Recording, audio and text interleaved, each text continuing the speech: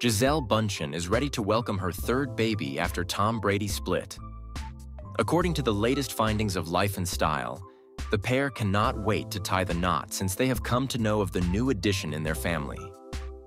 Spilling the beans on the couple's wedding plans, the source asked fans to think small and simple. The Brazilian beauty is reportedly planning a low-key wedding in Miami with just family in attendance with her jiu-jitsu instructor. Revealing what Gisele will wear while walking down the aisle for the second time, the insider shared, Gisele will wear something white, noting, but not a formal wedding dress.